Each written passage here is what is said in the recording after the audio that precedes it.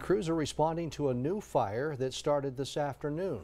This is the Howell Fire. It has burned about 64 acres of timber and brush just east of Pomerelle. The cause of this fire is still under investigation.